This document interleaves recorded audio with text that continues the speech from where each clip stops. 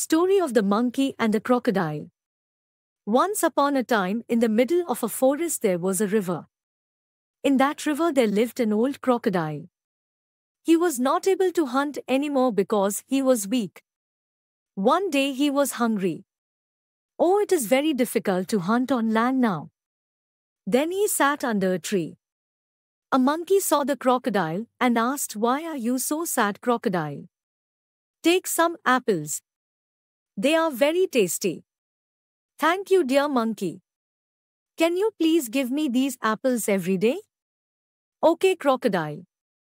And the monkey gave the crocodile some apples, and the crocodile ate the apples every day. One day, crocodile thought to eat the monkey heart. So he thought an idea. He asked the monkey that my friend want to meet you. The monkey was happy and said yes I will be very happy to meet him. He sat on the crocodile's back.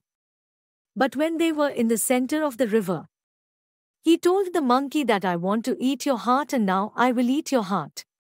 The monkey thought of the crocodile plan. He said the crocodile. Crocodile, I forgot my heart on the tree. So the crocodile said, Go and take your heart and give it to me.